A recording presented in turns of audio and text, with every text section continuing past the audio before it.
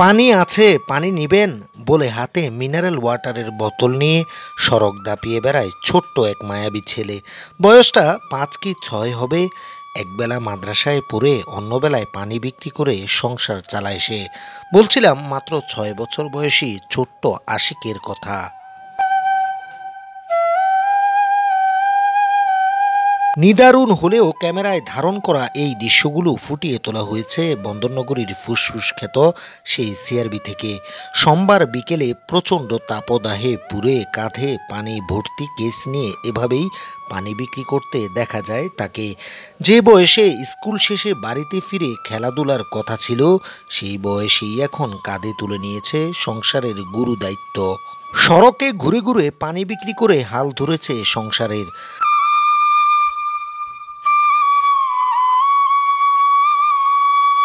পরিবারে সচ্ছলতা ফেরানোর পাশাপাশি অসুস্থ বাবার সাথে সংসারে অবদান রাখার জন্য পানি বিক্রির এই আয়োজন তার আশিকের ইচ্ছে বড় হয়ে হবে ইঞ্জিনিয়ার। তবে সেই ইচ্ছে বাস্তবায়নে অন্তরায় হয়ে দাঁড়িয়েছে দারিদ্রতা। আশিক জানায়, বাবা অসুস্থ বিধায় নিয়মিত কাজ করতে পারেন না। ফলে দশ বছর বয়সী বড় ভাইসহ প্রতিদিনই পানি বিক্রি করতে হয় তাকে। এখন পরিবারে আংশিক অবদান রাখতে পেরে বেজায় খুশিও সে। পানি বিক্রি করে লেখাপড়া করো এই এই টাকা আমার আমরা হচ্ছে যে তিন ভাই এক বোন। আমি বেঁচে যে পানি। আমার আমাদের সংসারে সবাই আছে।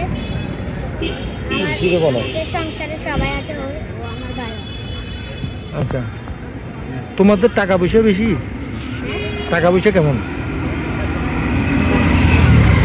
তোমাদের ফ্যামিলিতে কি টাকা পয়সা কম না বেশি? এজন্য তুমি দৈনিক দুই কেস তিন কেসে কত টাকা হয়? দুই তিন কেসে? দুই তিন কেসে এক কেসে দুইশো চল্লিশ টাকা। আচ্ছা লাভ কত টাকা থাকে? লাভ একশো বিশ টাকা। পার হয় চার চারটা বাজার থেকে শুরু করলে বেশি হয় বড় হয়ে কি হতে চাও? বড় হয়ে ইঞ্জিনিয়ার। দেশে ব্রিজ বানাবো। ব্রিজ বানাবা?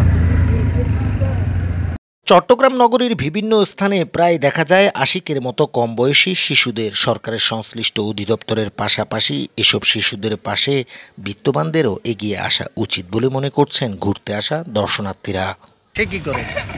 ওর থেকে বড় হয়েছে এরকম ছিল এক সময়। কিন্তু এই অবস্থা ছিল না। এটা ওনার ইয়েটা আমার থেকে কষ্ট দেয় থাকতেছে কি করতেছে ও? ওই যে পানি বিক্রি করে যে জিনিসটাই খারাপ লাগতেছে একটা ছোট মানুষ হিসেবে। ও কিন্তু সকালে মাদ্রাসায় পড়ে। বয়সটা বয়সটা কতটুকু হবে? ওর পাঁচ বছর হবে কিনা জানি না। এতটুকুই হবে।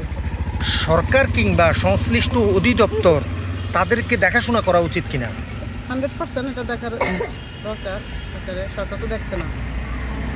এখন আমরা সাধারণ জনগণ যদি একটু ওদের দিকে একটু হাত বাড়াই তাহলে ও সামনের দিকে এগিয়ে যেতে পারবে। সরকার তো দেখবে না ও কেন পানি বিক্রি করতেছে? আপনার কি মনে হয়? তো সচেতন অভাব আছে, সেজন্য। যেমন আমাদের সন্তানরা ওইরকম অভাব পাচ্ছে না, এরকম কাজ করতেছে না। ওর ওইরকম সিচুয়েশন আছে এই বলে ওই কাজ করতেছে।